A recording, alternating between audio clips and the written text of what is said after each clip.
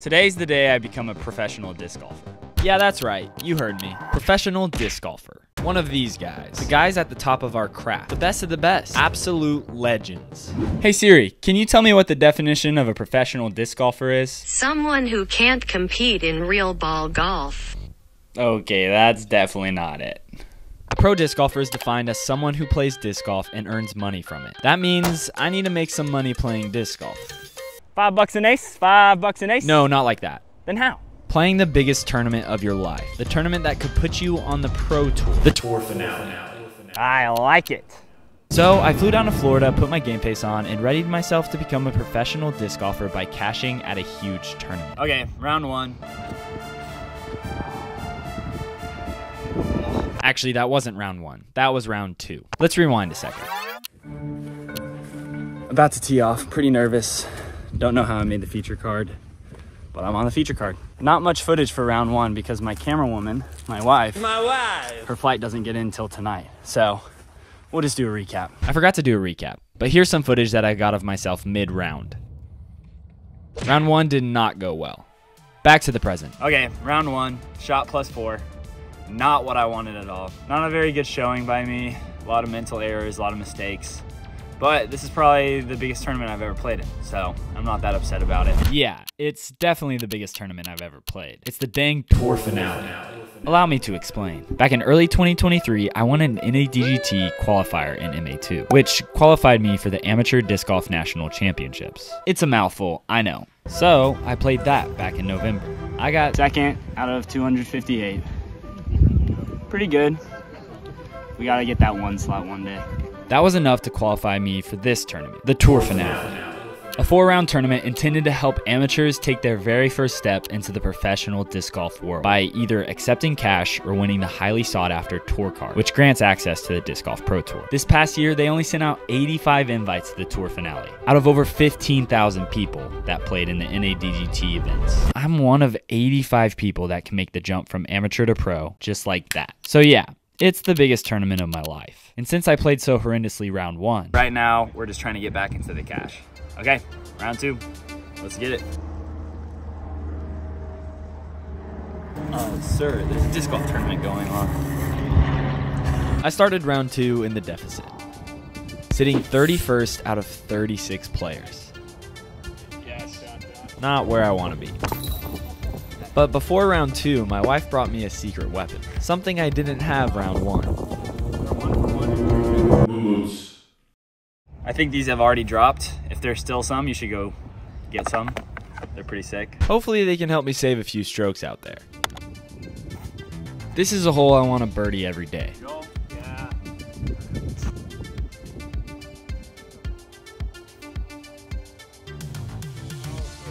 After that approach, I'm gonna have to rely on the moon boots. See what they're made of. I take full responsibility for that putt. That's not on the disc. That's on me. I did really need that birdie though, because I have a side quest during round two. That's perfect, man. Sit right there. The side quest, catching my nemesis, Kyle. Kyle played with me at Nationals and also qualified for the tour finale. I thought he was cool until he left this comment on my video. Ignore this first part, it's a facade. This is the part that matters. I have to beat him. Round one, he shot even, and he started round two playing pretty good as well. I needed to get some birdies. Well done, in the back. Skinnier teeth. That was huge, but I'm still five strokes behind him. Let's get moving. Oh, Kyle parred this hole. I had the moon boots, so I birdied. Back up to 75%. Three for four.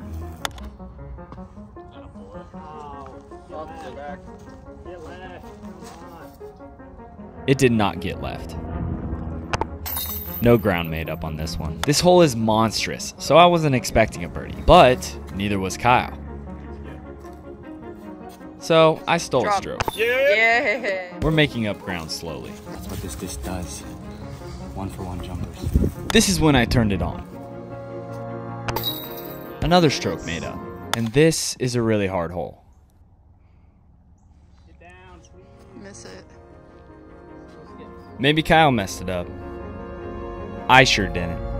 Yeah. With that putt, I overtook him. He had struggled on the last few holes, and I had birdied them all. But there's quite a lot of disc golf left. I have to hold it together. Go through.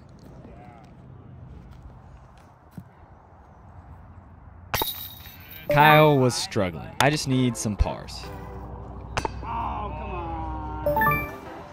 And pars are something that I know quite well. Hmm. But I'm also becoming acquainted with birdies. Perfect. Skip now. Yes. Hard. Wow. Oh the roll. Oh my gosh. I was like, man, I, I put too much Annie. It's done. My lead on Kyle is growing. I'm shooting insanely well. It feels like nothing can stop me. But that's not going to last long. What a terrible putt. The finishing holes down the stretch are brutal. Day one, I shot a collective four over on the final five holes. Hopefully, I can hold my lead on Kyle and finish out my solid round strong. I need to prove his comment wrong. Hole 15 is the longest hole on the course. The first two shots I threw weren't bad, but they were par at best. However, this shot was poor.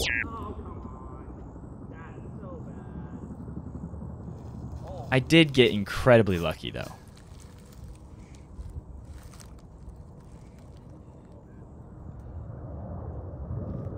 That was my very first bogey of the round. Luckily, Kyle bogeyed too. With that hole out of the way, I thought I could chill. Turn.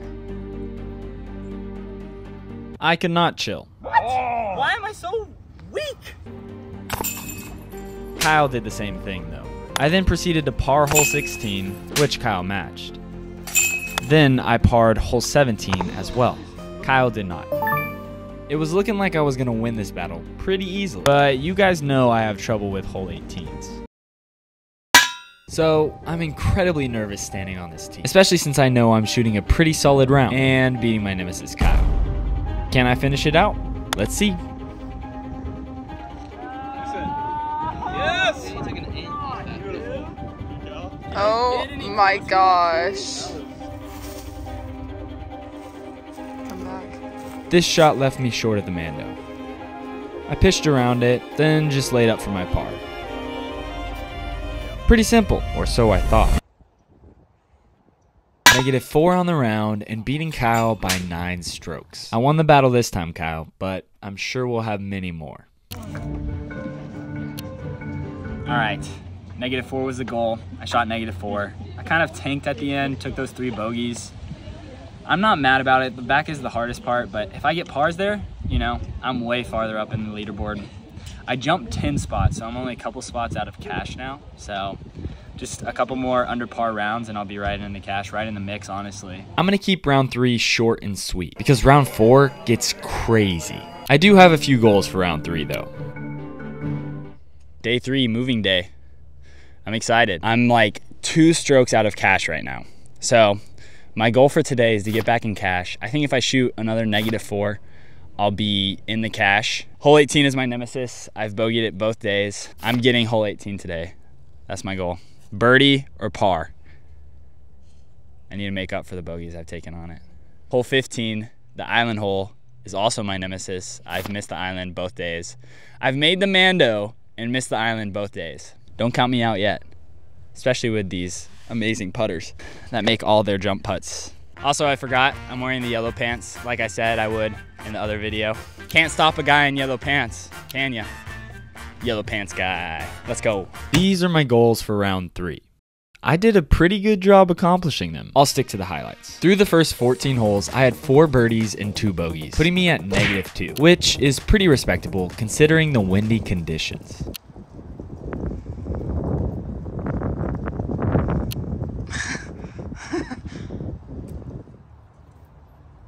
Yeah. That putt took me into hole 15, the island hole. I need to stick it.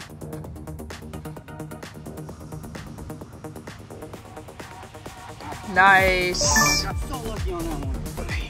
Putting me at negative three on the round. Nice. I just need one more birdie on hole 18. Okay, never mind. Can't shoot negative 4 anymore. But I can meet my other goals. So I hunkered down and attempted to play hole 18 as safe as possible. That left me with this simple upshot for par. Oh! I for sure wasn't trying to do that. I was not trying to do that. That was an absolutely electric way to end my third round. I moved up a few spots. I'm right on the edge of cash.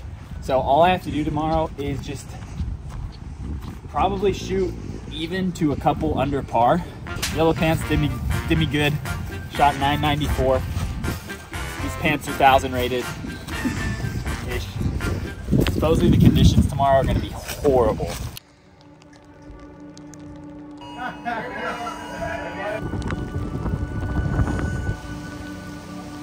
and I don't have an umbrella or anything to stay dry, so it's gonna get rough out there. 40 minutes till tee. Regardless of the weather, I still need to warm up. While I'm doing that, allow me to explain something real quick. The cash, the group of players who receive money at a tournament for how they perform. It's typically the top 40%. Since there are 36 players in this tournament, I need to be in 14th place to cash. I'm in 15th. With some simple math, that means I need to move up at least one spot to be in the cash. If I can stay under par, I think I'll be able to cash and become a professional disc golfer, which is pretty sick. And since I knew that this rain was going to be relentless, we came up with some Engineering that excites. Innovation that excites. It was the only hope I had for keeping my discs dry.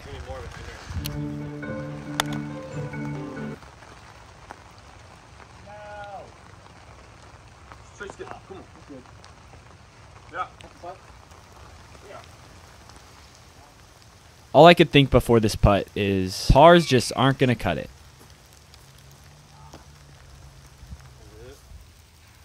But a par is go. better than a bogey. This is the hole that I thought I should birdie every single day. I've only birdied it once. I do have a bit of an excuse today, though. Sit. Shit. But I still really want that birdie. Mm. Not birdieing that hole was pretty demoralizing. And since I was demoralized, the rain decided to really start coming down at that point. I just felt like I wasn't throwing very bad, but I couldn't seem to capitalize. I was also soaked and freezing on top of that. Not really anywhere to hide from the rain. It's so cold and so rainy. I'm soaked to the core. This is all wet.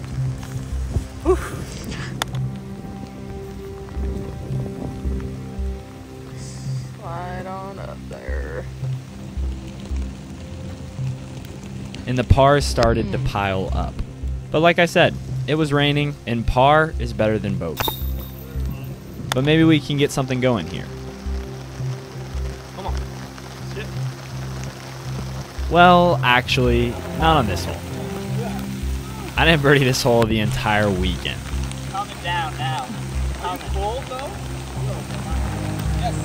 I took my par and moved on to hole 5. A hole that I've been throwing very well all weekend, but haven't snagged the birdie yet. Now would definitely be the time.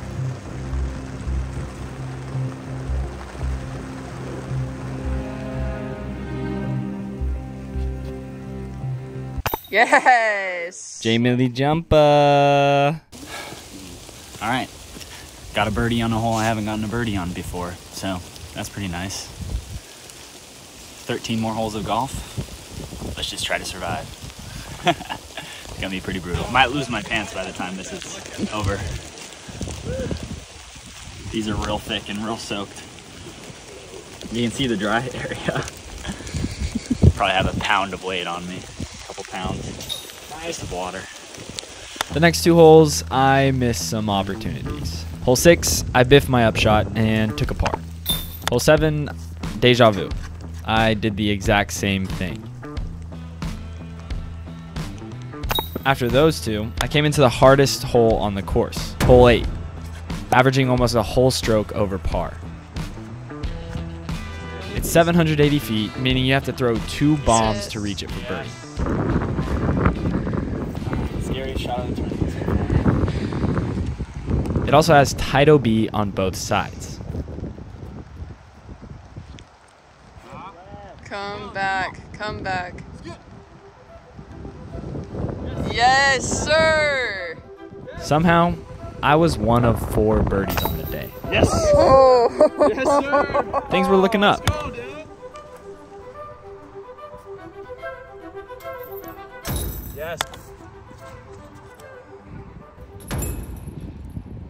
A bogey on back to back holes. You think I'd be mad?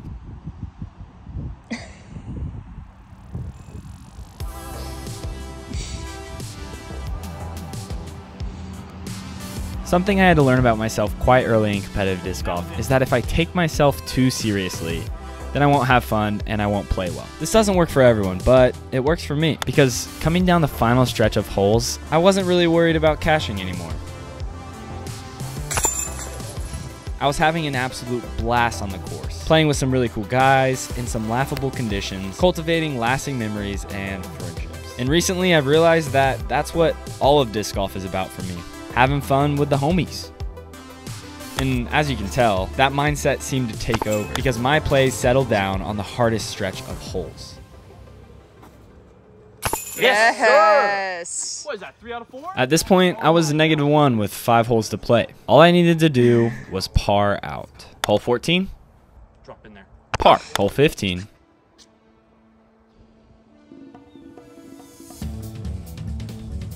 par. Hole 16, stole a nice little birdie, honestly. Hole 17, Stuck it. Just need to take my par, take a par on 18, and I think I cash. another par. And coming into hole 18, I was sitting pretty comfortably in the cash. But you guys know I have trouble on hole 18s. Let's make it more suspenseful.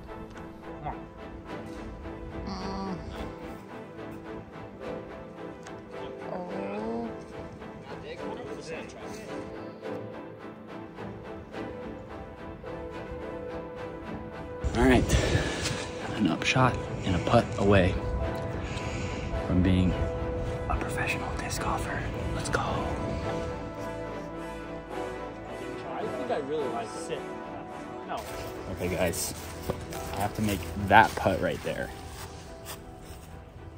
and I'll cash. Make some money. Be a professional disc golfer. I cashed, making $525 and officially becoming a professional disc golfer. And all I could feel was just a ton of gratitude. I want to be here without my wife, without God, without the support from Armory, and without you guys. I love making videos about disc golf. And it's only going to get bigger from here. So, I can subscribe perhaps?